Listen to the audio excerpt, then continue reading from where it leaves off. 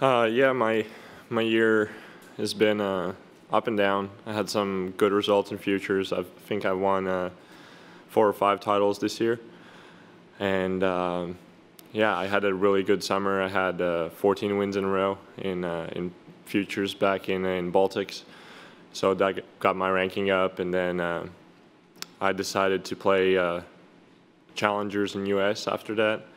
Um, I had a pretty good run in uh, in Columbus, Ohio. Uh, I played a Benjamin Becker who used to be top 30 in the world. Uh, I lost to him 7-6 in the third, but it was a great match. Something I can uh, look forward to uh, to the upcoming tournaments. I have three more challengers, and um, yeah, I think uh, I think I've had a good good year, and I'm looking forward to the next one. Mikelis, what did it mean to you to get a wild card bid into the Knoxville Challenger? Oh, it means a lot, especially um, to know the community is still supporting me.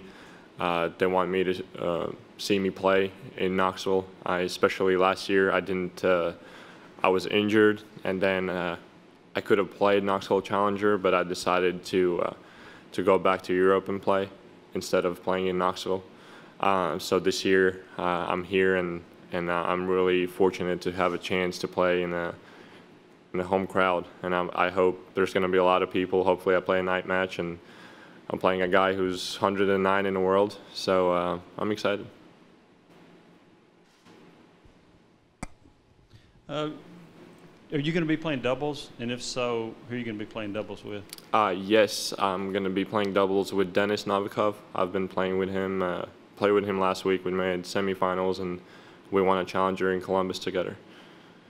Would you talk about winning the challenger doubles a couple of years ago with Hunter Reese? Uh, yeah, uh, it was. I guess it was three years ago, or two years ago. Yeah, two or three. Two, years. Two years ago. Uh, yeah. Uh, well, it it was it was a great week for us. You know, especially we were the first college team that's ever won a challenger pro event, but then next week Illinois guys did the same thing, so it wasn't so special. But uh, but yeah, it was it's it's great it's great memories, and uh, and hopefully me and me and Hunter can play uh, play again sometime in Knoxville. How are you a better player now than when you graduated from Tennessee?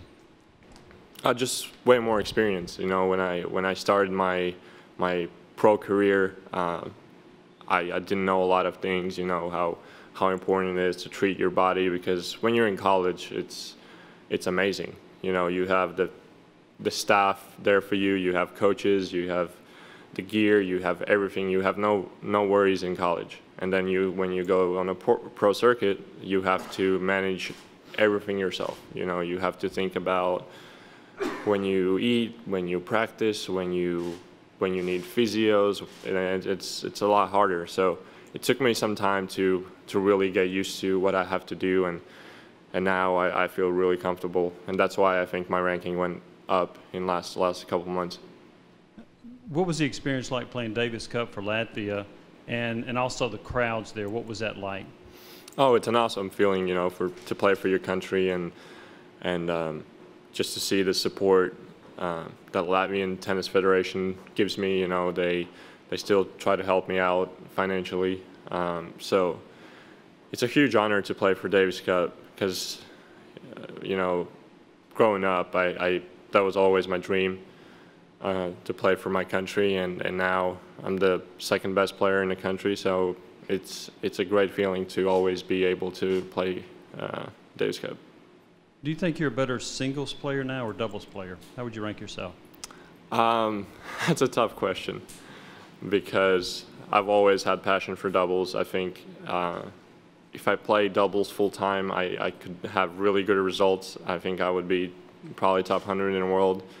Uh, but right now, I'm trying to trying to make it in singles. I want to see how far I can go because before I came in college, I never thought I could make it in singles because I was a lot better in doubles. But then I got so much better in singles that right now I just want to see how far I can go.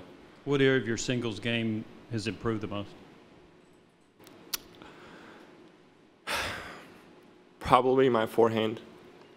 my forehand has been a lot better uh, since I was in college. It wasn't consistent enough, so especially in a in a pro circuit, I took a lot of time to improve my weaknesses. But uh, but it's also a lot mental. I think uh, mentally I've I've improved since I've been in uh, in college. How much do you play? How much do you play in Europe versus the United States, and how do you decide that? Um, mostly futures. I didn't want to play in U.S. Uh, because everyone knows me around U.S. area. All the coaches, all the players that know how to play me, and I, I didn't want that when I just started playing. You know, right now when I'm three, 350 in the world, it, it doesn't matter. You know, everyone's good, uh, especially in challengers. It doesn't matter um, how it's it's it all depends when you go on the court how you're going to handle yourself. But in futures, it's different. In in futures, it's a lot harder. You know, especially when I just started, the qualities draws in US are 128.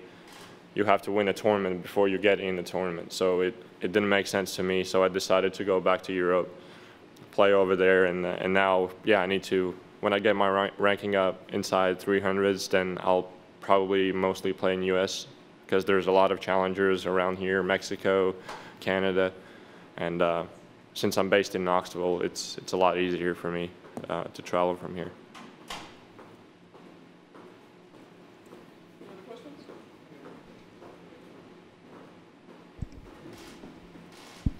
Do you think that that path that you took and, and winning in the futures has really helped your confidence going forward? Oh, definitely. I think um, I had some struggles start of the year. Uh, I, whenever I won a tournament uh, in singles, the next week I, I never passed first or second round.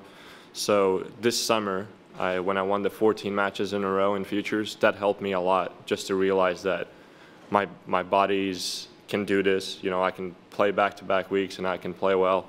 So that was my July August was uh, was a big turning point in my career. I think.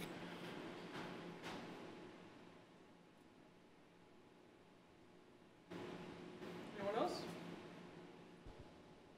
All right, we're good. Thanks, Mikelis. Sweet.